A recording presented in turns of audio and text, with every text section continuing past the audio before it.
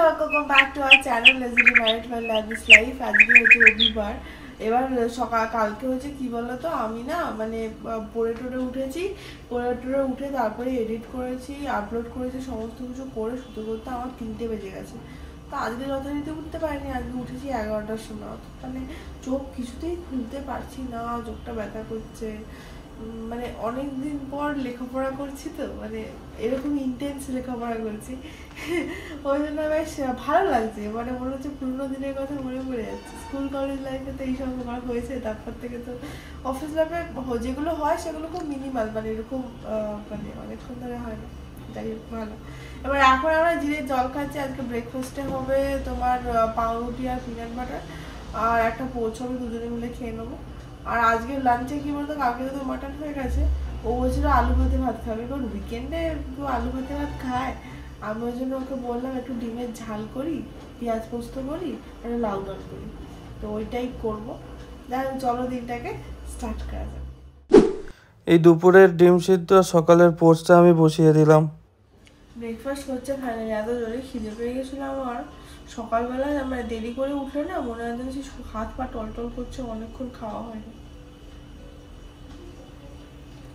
আগে ডিমের পোস্ট করতে গিয়ে ডিম ডিমের কুসুমটা ফেটে গেছে। ওই জন্য পোস্টটা খেতে গেছে। ডিমের ঝালের জন্য এখানে পেঁয়াজ আর কাঁচা লঙ্কা কাটা হয়ে গেছে আর ডিম সেদ্ধটাও হয়ে গেছে। মন দিয়ে পড়াশোনা করছে। আর মোবাইল দেখছ কেন? মোবাইল দেখিনি এই জিনিসটা ভুলে যাব ওই জন্য একটা ছবি তুলে রাখলাম। পড়ো পড়ো। বলেছে যে পেঁয়াজ পোস্ত আমি করে দেবো। সেই জন্য পেঁয়াজ পোস্ত কমপ্লিট হওয়া অবধি আমি লেখাপড়া করে নিই। তারপরে ওর যখন পেঁয়াজ পোস্ত হয়ে যাবে আর ডিম যেহেতু সেদ্ধ করা হয়ে গেছে, আমি ডিমের ঝালটা গিয়ে করে নেব।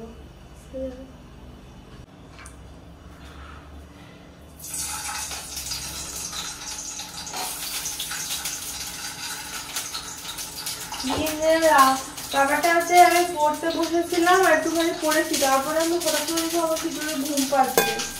ছোটবেলার অভ্যেসটা পড়তে বসে ঘুম পায় তো আমার এখন ঘুম পাচ্ছে আমার মনে হয় না এখন হবে না।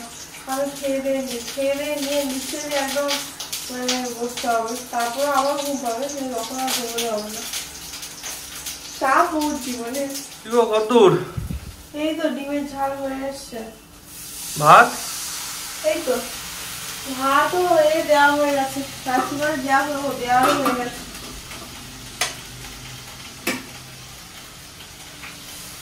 রাত্রে কখন খেতে পাইছে? না খিদে পাইনি তো মাঝে কথা। এই একটু আগে তো এ খেলি খিদে পাইনি। এই তো হয়ে গেছে চলো খেলি হুম খিদে পেয়েছে? পাইনি ডিমটা দেখে পেয়ে যাচ্ছে। কি অবস্থা? দিয়ে চলে গেছে। টান টান করে? এই তো ঘুরতে যাব। একা একা? এইরকম এটা আলু চিপস নিয়ে আসব। আর? আর আইসক্রিম বললে তুমি খাবে। আরে দেখো না বাইরের ওয়েদারে যা এত বাজে ওয়েদার আছে সকাল থেকে ডিপ্রেসিং ওয়েদার কোনো বৃষ্টি নেই এ নেই কিছু নেই তারপরে অন্ধকার মানে কেমন একটা মন খারাপ লাগবে এরকম ওয়েদারে বৃষ্টি পড়ছে আমি তো বুঝতে পারছি না। না বৃষ্টি এখনও পড়েনি। পড়ছে মনে হচ্ছে ঝিরঝির করে। হ্যাঁ পড়ছে ছাতাটা নিয়ে যা। দাঁড়া ছাতাটা দিচ্ছি। ছাতা। জল দাও তো। জল খাবি? তোমার দেখলে না আশিস বেরিয়েছিল বেরিয়ে এসে এই মানে একদম সাদা যে আলুর চিপসগুলো হয়, ওগুলো নিয়েছে দিল্লি সুইট হাউসে এরকম চিপস পাওয়া যায়। আর এই হচ্ছে আমাদের বাকি খাবার। ভাত রয়েছে, ডিমের ঝাল রয়েছে, এটা পেঁয়াজ পোস্ত, আর এখানে রয়েছে আমাদের লাউডার লাউডারটা একদম অল্প করে বানানো হয়েছে। ব্যাপারটা কি হচ্ছে বলতো? বারবার খালি রয়ে যায় তো, বড্ড অসুবিধা হয়। ওই জন্য একদম অল্প বানিয়ে যাতে দুপুরবেলাই হয়ে যায় দুজনে, রাত্রিবেলাও না থাকে। চলো খেয়ে নি এখন আমার কারেন্ট নেই, জানো তো? কারেন্টটা নেই, কি জ্বালা। নেহাতি তোমার ওয়েদারটা ঠান্ডা রয়েছে গরম হচ্ছে না, ওই জন্য অসুবিধা হচ্ছে না। বেশ, প্রায় পনেরো কুড়ি মিনিট হলেও কারেন্ট চলে গেছে। আমি ভাবলাম একটুখানি ওয়েট করে যদি চলে আসে, খাব। আসছে না, তো খেয়েই নি। আসি যে মটকা কুলফিটা নিয়ে এসছে। গেছিল? ওই আলু ভাজা নিয়ে এসেছিল না? আলু ভাজার সাথে মটকা কুলফিটা নিয়েছে। এটা খুব ভালো খেতে। লাস্টবার খেয়েছিলাম। সাধু নিয়ে এসেছিল না? হুম। হ্যাঁ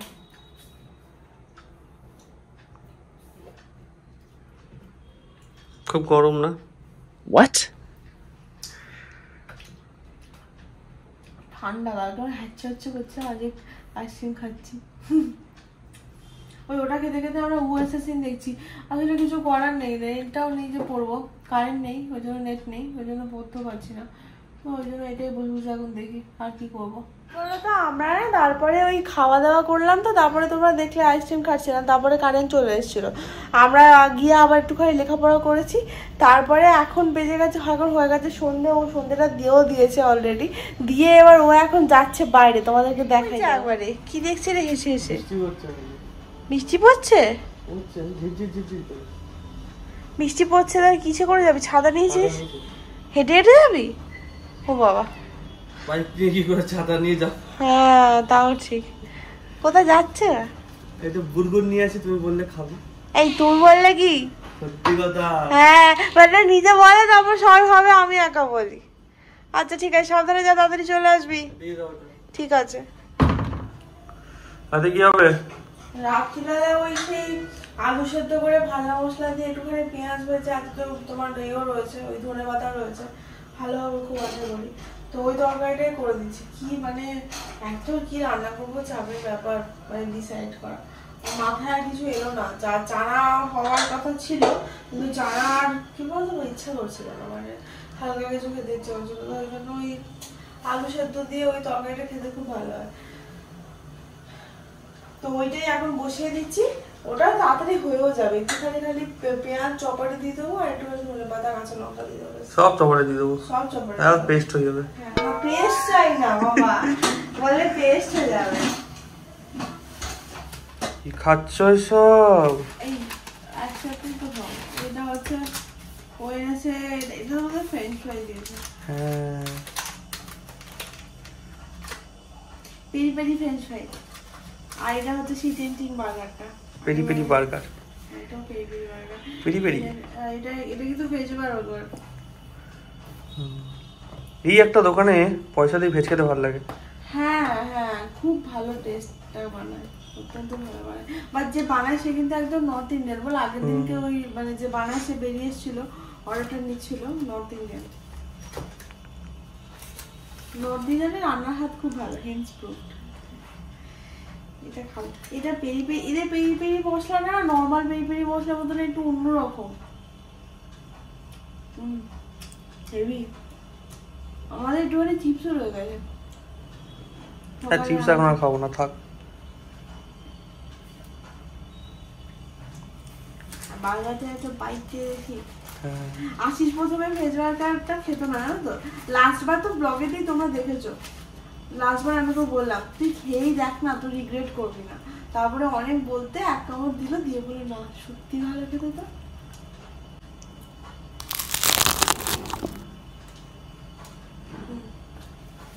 আর এরা তোমার প্যাটিটা বানায় কড়াইশুটি কড়াইশুটির প্যাটি।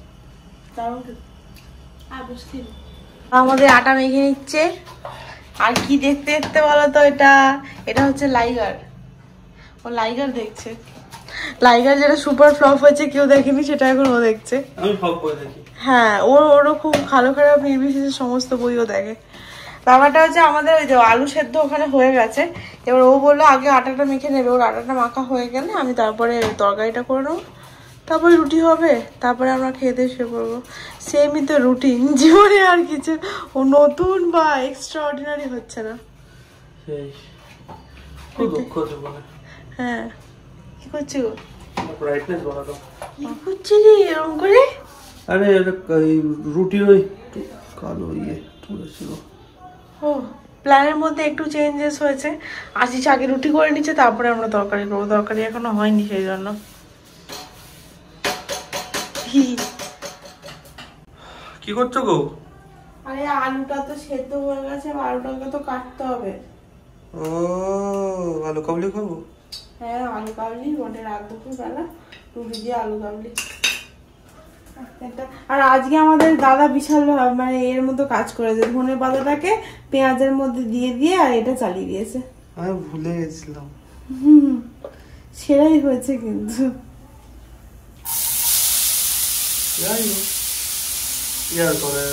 কেমন লাগবে খেতে আমি জানি না। এই পেঁয়াজ একটু বেশি হয়ে গেছে আমার ঠিক আছে খেয়ে নেব। মানে কি ঝাঁঝালো ইয়ে গো দেখো।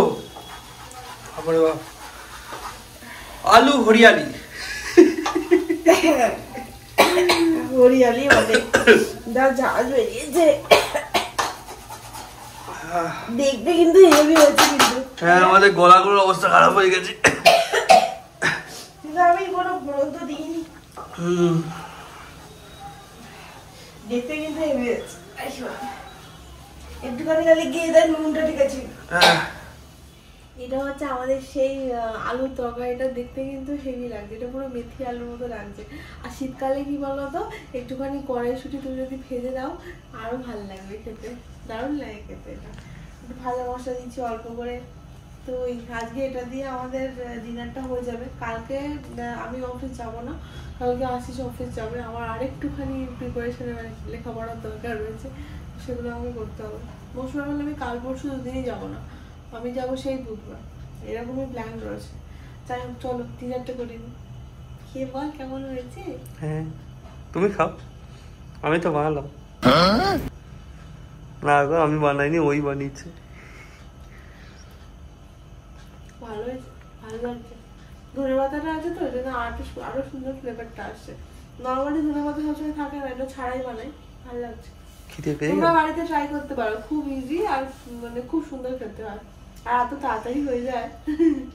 আমাদের খাওয়া দাওয়া কমপ্লিট হয়ে গেছে এবার ব্যাপারটা হচ্ছে যে আজকে আমরা একটুখানি লেখাপড়া করব মানে আমরা দুদিন ধরে এরকম বসে গুড বয় গুড গার্ল হয়ে গেছি। গুড বয় গুড গার্ল হয়ে গেছি আর লেখাপড়া আর লেখাপড়া করে যাচ্ছি।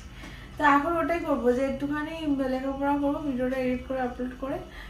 তারপরে কালকে তো অফিস আমি যাব না আশিস যাবে শুধু। তো ওই জন্য সকালবেলা তাড়াতাড়ি উঠে রেডি হওয়ার ব্যাপারটা নেই। আমার আছে। মানে ধীরে সুস্থ উঠলে হবে একটা লোক রেডি হতে কম সময় মানে যে পুরো টাইমটাতে একটা লোক রেডি হবে। আগে ছিল ওইটুকু টাইমে দুজনকে রেডি হতে হতো ওইটাই বলছি। তো ওটাই, আজকের ব্লগটাকে ওর জন্য এখানেই শেষ করছি। ভালো লেগে থাকলে প্লিজ লাইক শেয়ার কমেন্ট আর সাবস্ক্রাইব করে দিও। আর যদি কোনো সাজেশন থাকে তাহলে অবশ্যই কমেন্ট বক্সে জানিও।